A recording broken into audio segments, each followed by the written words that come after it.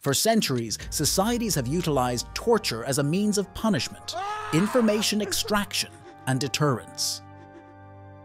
Across various cultures, numerous methods of torture have been developed and refined. Among these methods, crucifixion stands out as particularly agonizing, a technique honed by the Romans and notably used in the execution of Jesus. However, the agony of crucifixion extends beyond the mere piercing of nails through the body. There are less visible aspects of suffering that occur during crucifixion, which modern medical science has helped to illuminate.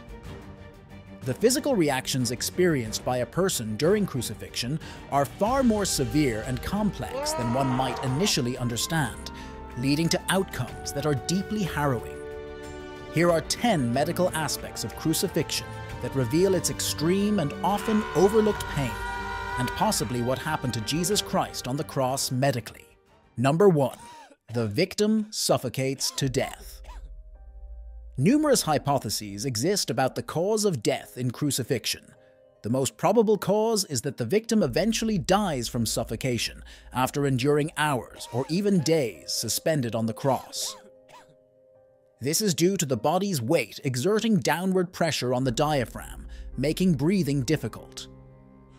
To alleviate this, the crucified person would alternate between pushing up with their legs and pulling up with their wrists to relieve pressure on the diaphragm.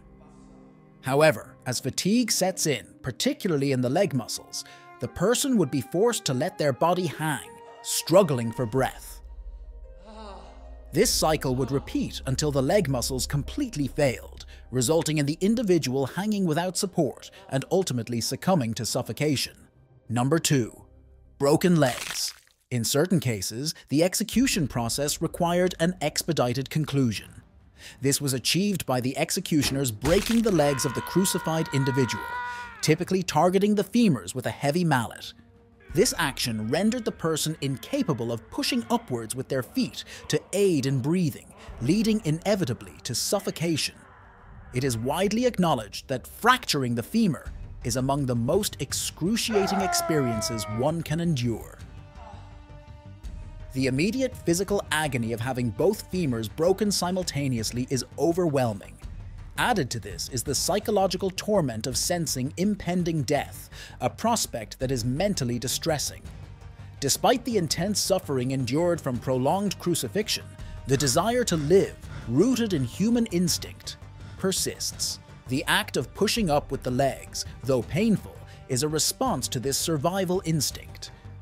However, when the legs are incapacitated, the individual is forced into a passive state, unable to fend off suffocation, battling against their natural inclination to survive while confronting an inescapable demise. Number 3. The nerves in the arms. Rub against the nails. When nails were hammered into the wrists during crucifixion, they would impale the primary nerve running through the arm. Each time the victim attempted to push upwards to facilitate breathing, this movement would cause the wrist to rotate around the nail, aggravating the nerves and triggering severe arm pain. The continuous contact of the nerve with the large nail resulted in relentless, recurring agony that the victim had to bear each time they lifted themselves to breathe. This experience could be likened to the extreme pain of having an arm amputated, followed by the insertion and twisting of a bone shard directly into the fresh wound and against the exposed nerve. Number 4. Skin and muscle ripped off before crucifixion. Crucifixion was a multifaceted process, starting with a brutal prelude before the actual nailing to a cross or tree. This preliminary stage involved a severe beating using a whip with nine tails, each end adorned with metal tips and bone fragments. The condemned person would be bound to a wooden block while executioners lashed their back, buttocks, and legs with the whip. The bone pieces attached to the whip would deeply penetrate the flesh, tearing away skin and muscle as the whip was withdrawn. This process, known as flogging, could last an extended period and was designed to mutilate the victim to the brink of recognition stopping short of causing death. Often, the whip's tails would wrap around the body, injuring the front of the shoulders and chest, as well as the skull, face, and neck with repeated strikes. This intense physical trauma would lead to immediate shock and significant blood loss in the victim, marking just the beginning of the gruesome ordeal of crucifixion. Number 5. Wooden splinters scourged the flesh further. Following the brutal flogging with the nine-tailed whip, the victim was forced to bear the weight of a wooden beam to the crucifixion site. This beam was not a smooth, treated or finished piece of wood, but rather a rough, splintered tree trunk. As the victim carried it, the coarse surface of the wood scraped against their back, driving splinters into the freshly opened wounds. This painful interaction with the wood persisted even after the victim was nailed to the cross. Each time they shifted their weight from their feet to their arms and back again, their back would rub against the rough, splintered surface of the cross. This caused continuous, stabbing pain in the open wounds. Some splinters remained embedded in the muscles and exposed nerve endings, while others further tore open the wounds, leaving trails of blood as the victim moved. This added a relentless, excruciating dimension to the already agonizing ordeal of crucifixion. Number 6. Hypovolemic shock. The severe beating that preceded crucifixion often led to hypovolemic shock, a critical condition triggered by the loss of over 20% of the body's blood. This substantial blood loss reduces the oxygen available to the body and hampers the heart's ability to circulate blood, further limiting oxygen delivery to cells. This creates a detrimental cycle that can lead to death if the condition persists. Symptoms of hypovolemic shock include nausea, excessive sweating, dizziness, confusion, and fainting. Frequently, victims of crucifixion would experience vomiting, which could exacerbate their situation. In some instances, the regurgitation of bodily fluids could accelerate the process of suffocation, as the victims, already in dire respiratory distress, struggled with choking and gagging. Number 7. The shoulders dislocate.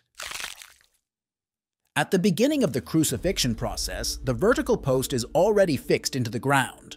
The condemned person is made to carry the horizontal beam to the site, once there, the executioner nails the individual's wrists to this horizontal beam while they are still on the ground.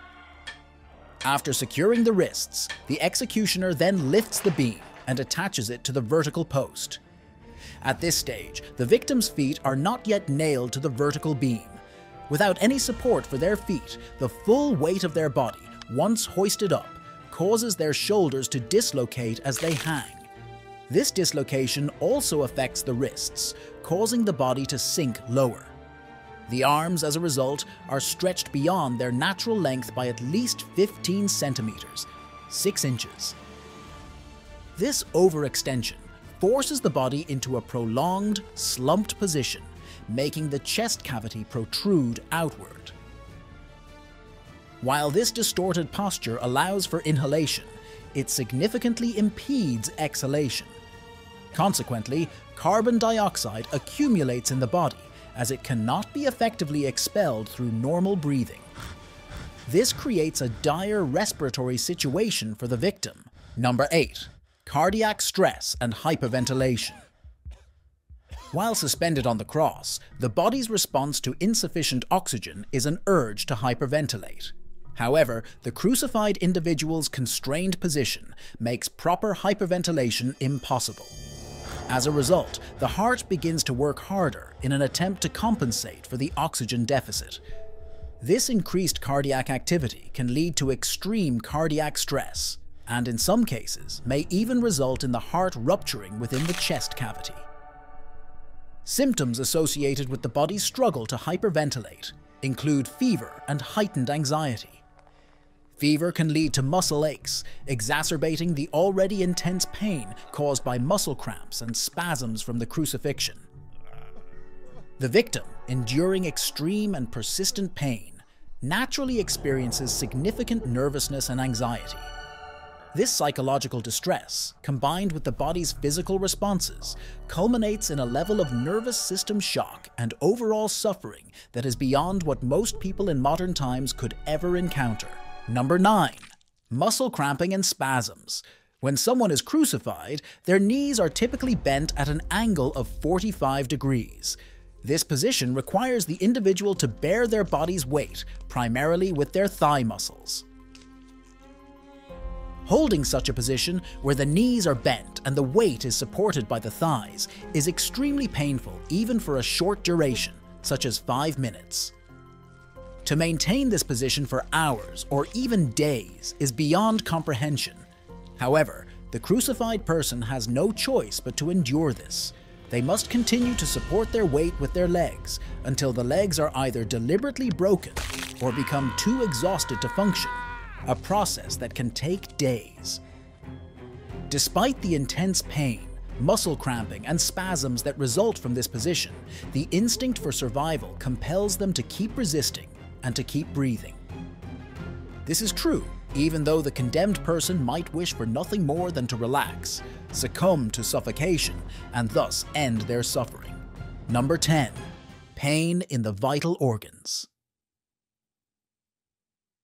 Our body's vital organs typically receive oxygen through the circulation of blood, a process aided by the movement of our limbs and their interaction with gravity. However, the position on the cross disrupts this natural mechanism. The fixed positioning of the arms and legs, in combination with gravity pulling the blood downwards, hinders the proper oxygenation of vital organs. As a response, the body's organs communicate distress through the only means they have pain. This is done through nerve pathways leading to the brain's pain centers.